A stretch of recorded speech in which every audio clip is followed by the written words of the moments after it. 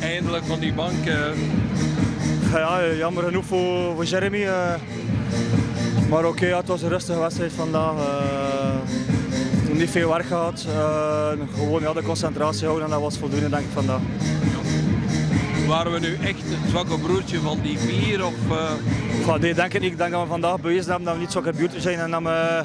Westerlo was tot... Ja, eh, zoals ze zeggen, Westerlo zegt, enkele spelers zeggen, oké, we staan het zwakke broertje, maar eh, ik denk dat we niet eh, gekregen hebben wat we recht op hebben. Eh, en die- Duidelijk een strafschop eh, geweest. eh, ook, ja, ook vandaag, maar in de vorige matchen ook. Oké, we zijn zwaar afgestraft geweest.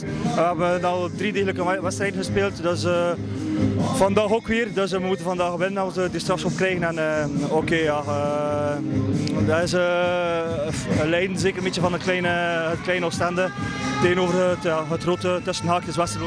Ja, en wat nu met Jurgen Sieris? Alles ligt nog open, dus eh, mijn optie is niet gelegd. Maar eh, ik weet niet als Oostende nog zal praten. Ik, eh, ik voel me nog fit genoeg. Hopelijk heb ik vandaag bewezen dat ik nog eh, mijn steentje kan bijdragen aan dit Oostende. Het liefst dan al hier bij Oostende natuurlijk, maar we zien wel, misschien komt er iets anders uit de bus. Er zijn nog kandidaten, dus ik wacht af. Jou ligt en... eh, Ja, Oostende de eerste keuze. Ik ben hier uh, kind aan huis. Eh, ik heb hier eh, in derde klasse vroeger, acht jaar geleden, een schitterende jaren gehad.